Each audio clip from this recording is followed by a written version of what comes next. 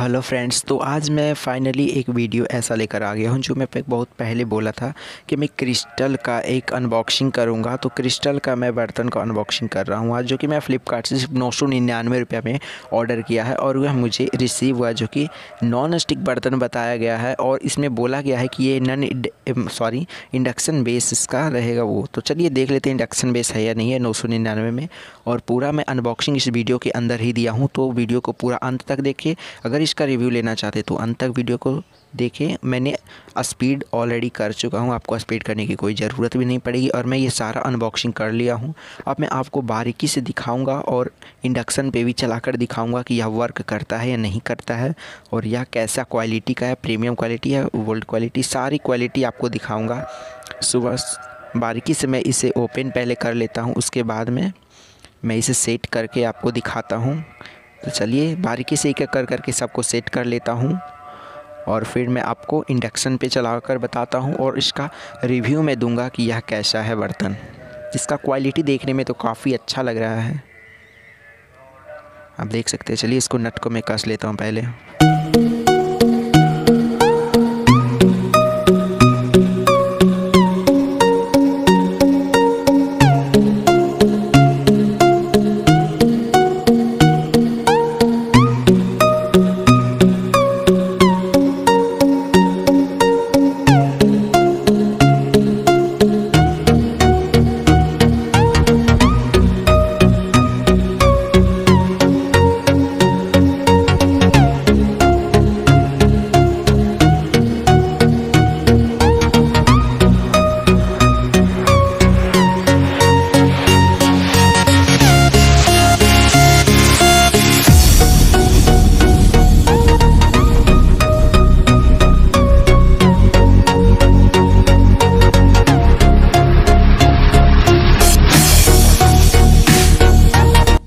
है फ्रेंड्स तो आपने देख लिया कि मैंने सारा को सेट कर दिया। अब बारीकी से आपको दिखा देता हूँ एक के बारे में कि कैसा है।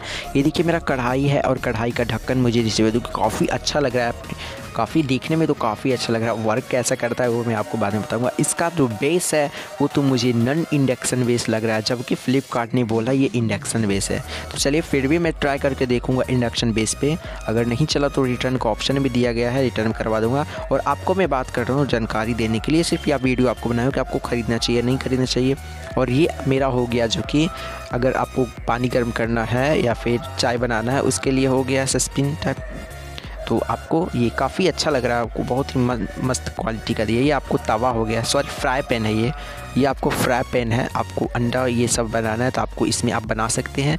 पीछे भी आपका अच्छा लग रहा है। ये हमें तो हिसाब से लग रहा है, ये इंडक्शन पे वर्क नहीं करेगा और ये गैस पे अगर आप लेना चाहते हैं तो इसे ज़रूर परचेज़ करें। नौ सौ निन्यानवे रुपया में हो रहा है सिर्फ़ और ये मेरा तवा हो गया, जो ये भी काफ़ी सेट करने पर अच्छा लग रहा है। इसका क्वालिटी आप देख सकते हैं, कितना मस्त क्वालिटी का दिया है। अगर आप इसको ख़रीदना चाहते हैं तो ज़रूर क्रिस्टल का मैं एडवाइस दूँगा ख़रीदने के लिए। फ़िलहाल मैं यूज़ करके भी इसको बताऊँगा कि ये कैसा वर्क गया है। इसका रिव्यू भी मैं एक वीडियो में दूँगा। तो अब मेरे पास ये रहा है, जो कि डब्बू दिया है। ये डब्बू टाइप का है और ये भी काफ़ी अच्छा लग रहा है। जब किसी को दाल उल चौंकना रहता है तो ये आप इससे यूज़ कर सकते हैं। तो काफ़ी बर्तन दे दिया है नौ सौ निन्यानवे आप देख सकते हैं। और एक फाइनली लास्ट में मेरे पास बचा हुआ है वो है इसे, जिसे छोलनी कहते हैं। चम्मच एक स्पून बोल, बोला जा सकता है।